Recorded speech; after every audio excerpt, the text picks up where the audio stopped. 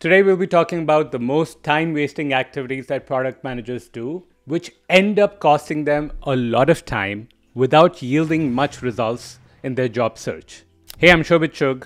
I'm a former Google product manager and CEO and founder of Intentional Product Manager, where we've coached thousands of product managers towards helping them get to their dream role. So I know exactly what we're talking about. I've seen our clients make these mistakes, I've seen many other people make these mistakes. So let's start with number one.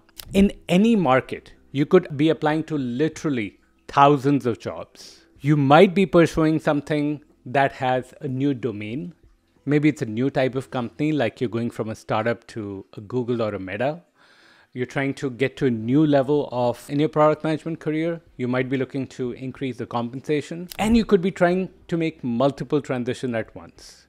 But we have what we call a primary shift rule. A primary shift rule means that anytime you're looking to transition into a new job, you should aim to change only one big thing and you should be clear what that big thing is. You can change a couple of small things, but you cannot change, for example, your domain, the type of company you work for, the level at which you come in, whether you're managing a team or not, your compensation, your industry, everything at the same time. Transitioning is a multi level process. Think of your ideal role, you might need to make multiple hops to get there.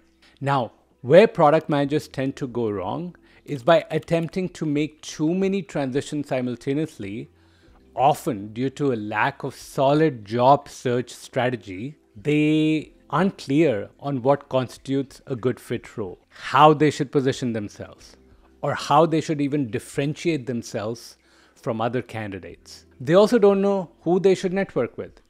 And all of this ends up working against them. So, the first mistake product managers make is not having a well thought out, cohesive strategy that helps you make the primary transition that you want to make. This is critical because everything else is 100% dependent on having a solid job search strategy. Now, related to strategy, you might have a good strategy, but then something else could be costing you, and that's the next thing. One major issue is not knowing where to apply or treating each job as completely independent from others. For example, I've seen product managers prepare for each position by researching the interview questions on sites like, you know, Glassdoor, practicing their responses, and then applying. Now, this approach is a huge waste of time because it requires starting from scratch with every new job application. Instead, we recommend what we call a core foundation preparation. Once you have your strategy, you should develop a foundation layer that includes how you, as a product manager, talk about your achievements, how you position yourself, and how you problem solve. We call this the angle of mastery positioning narrative. This approach ensures that you're not wasting time individually preparing for every job, and it allows you to apply to multiple roles more efficiently. You only need to do some company specific preparation which is a matter of few hours, or a bit more for company you're particularly interested in, all the rest remains the same. These foundations might also include common interview question types, like product design challenges.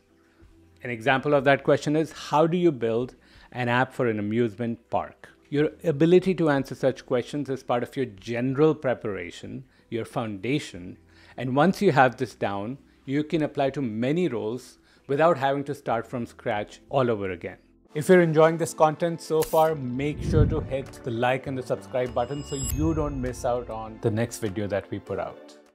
The next area where product managers waste a lot of time is applying online. Look, in the 2024 job market, just submitting an application online is mostly a waste of time. Sure, there are occasional successes, like a recent case where a client landed a dream job with double the compensation through an online application. Even better, this person's partner applied for them. They literally said, I'm going to submit your application. And they got it. But that's the exception. It's not the rule. Most of the time, when a product manager job is posted, it receives thousands of applications. Hiring managers and recruiters don't want to go through all these resumes. They might use an applicant tracking system and, and some techniques to try to filter these resumes.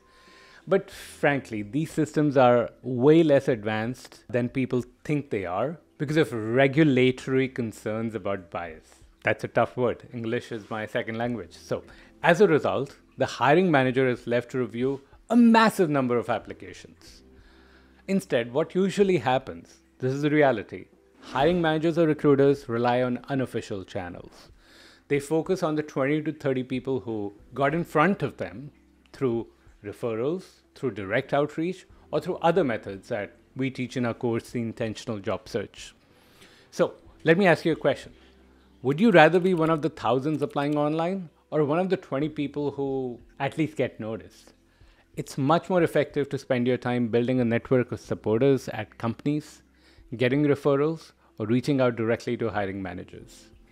This approach is far more effective than applying to 20 jobs online.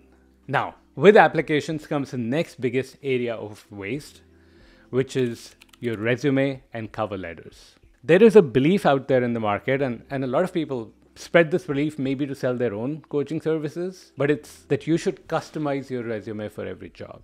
While this may sound good, it's not the best use of your time. See, in our program, we tell participants to optimize for return on time. Customizing your resume might offer some marginal value, but it's not worth the time compared to other activities that can give you 10 times the return. Instead of customizing res- a resume for every job, you should create a few expertly crafted resumes that align with your strategic targets. Typically, it's one to three. So, for example, if you're applying to two types of roles, you create two different resumes. Now, this approach is much more efficient than building each resume from scratch. Apparently, my cat wants to say hello to you.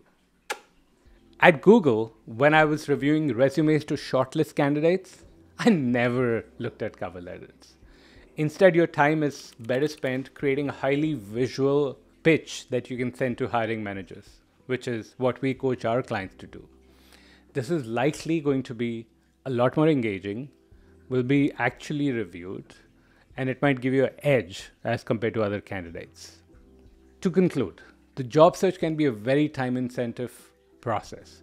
So, focusing on the activities that will give you the most return on your time is really important. Customizing resumes and writing cover letters are generally not worth the effort. If you got value out of this video so far, you're probably looking for a new job in 2024. Now, I created this entire video that will walk you through exactly step by step what I would do if I was applying in this market. Click the link here to watch it now.